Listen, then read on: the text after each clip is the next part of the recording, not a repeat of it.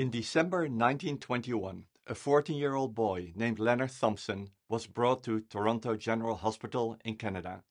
He was slowly dying. He was very thin, skin and bones, weak, smelled like acetone, and had high glucose levels running through his veins.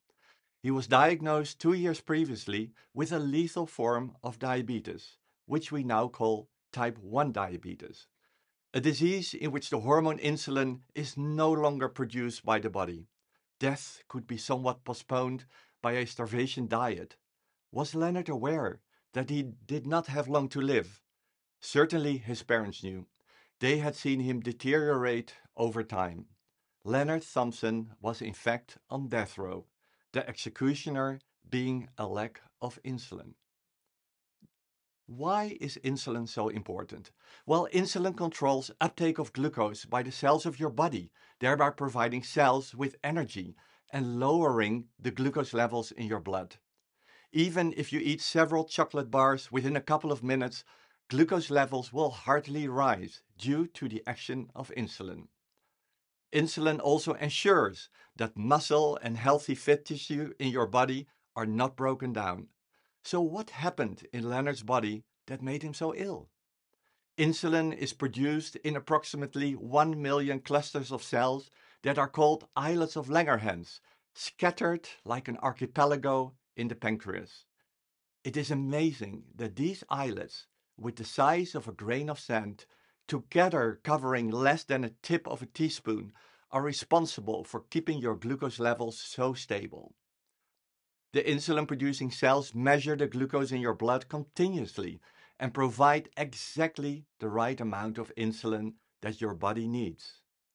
But in type 1 diabetes, these cells in the islet archipelago are destroyed by a hurricane of cells from one's own immune system, and there is no reconstruction possible. Imagine how Leonard's parents were desperately waiting for a medical breakthrough in 1921. And imagine how they must have felt when Leonard was chosen to receive a promising new treatment.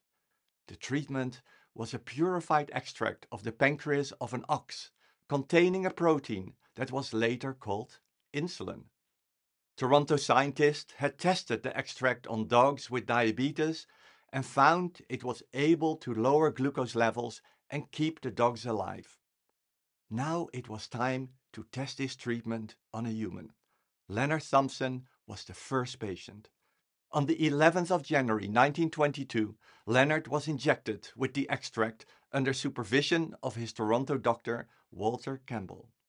Several injections followed during that month. The extract worked. It lowered Leonard's glucose levels. Imagine this doctor. He started life saving injections in a young boy with type 1 diabetes. What were his thoughts that for the first time he was able to offer a solution? Was he aware that this would be a historic moment?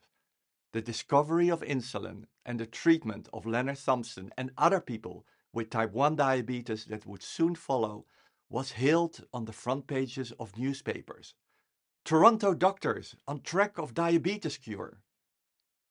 But was it a cure?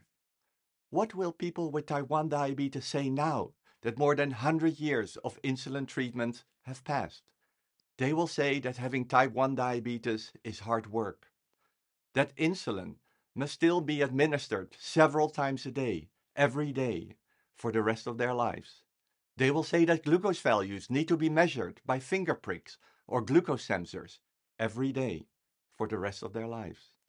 They will say that almost all relevant daily activities have an effect on glucose levels, so they need to continuously think about glucose control and the right amount of insulin.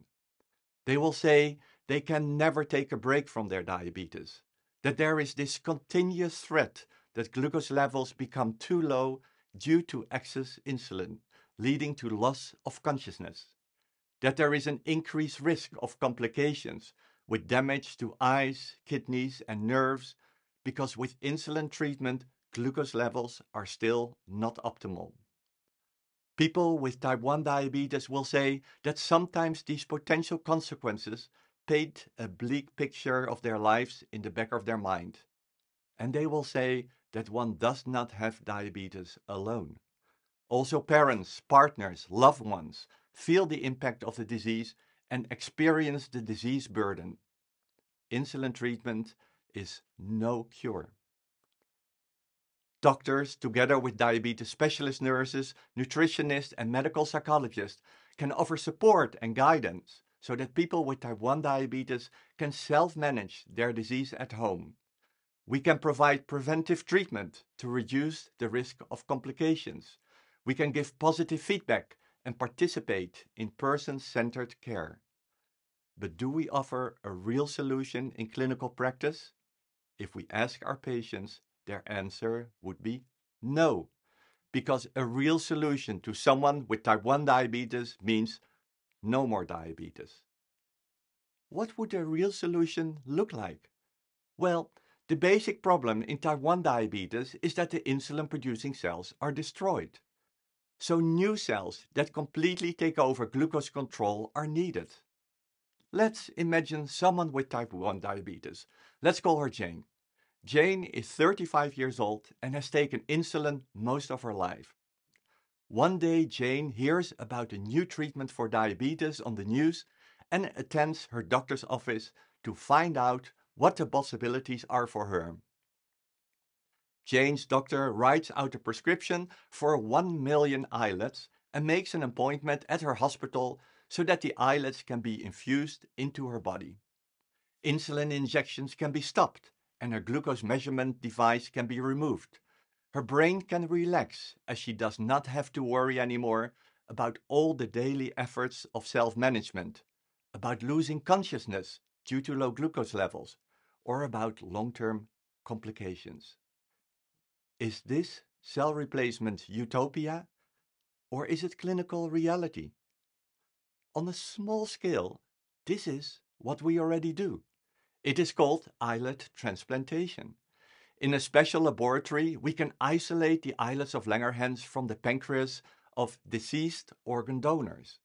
These donor islets we can infuse into the liver of a person with type 1 diabetes, so the liver providing a new home from which the insulin producing cells can function. Every year at the Leiden University Medical Center and at a limited number of centers around the world, islet transplantations are carried out in a small number of people with complicated type 1 diabetes. Fantastic, isn't it? So, why do doctors not write out more prescriptions for these donor islets? Well, several reasons. First, availability.